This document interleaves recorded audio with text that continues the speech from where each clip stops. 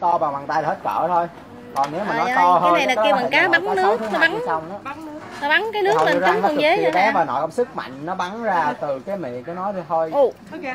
nó bắn nước cái điện thoại luôn rồi. Nó ngậm nước trong miệng nó nó phun lên đó. Cá Bắn này ra luôn kìa. Chính xác.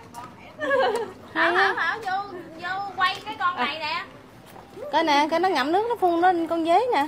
Đó. Gì vậy? con cá bắn nước. Cá bắn nước. Bắn nước dế trơn rồi kìa ủa cái Cá bắn nước hả? nó ngậm nước vào miệng nó nó phun nè Ý trời ngủ quá á. À nó phun chính xác Ý trời luôn ngủ hả? phun nước nước. nó phun cho con đó nó Cái uống có thấy ở đâu rồi? Vậy hả? Cái này có thấy ở đâu rồi? Ôi ơi, hồng ghê tơi. tiếu mới biết luôn Ủa là con cá ngoài đó đó hả? Ờ, sao giống cá ngoài đó đó? nhưng mà con cá thì nó được ờ, tu luyện rồi cho nên nó bắn À.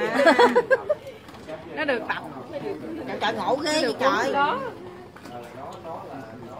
nước nó bắn ồ ồ bắn trúng thiệt chớ Hay thiệt cho nó bắn cái chân luôn bắn ngay hồng tâm luôn Ôi, trời ơi,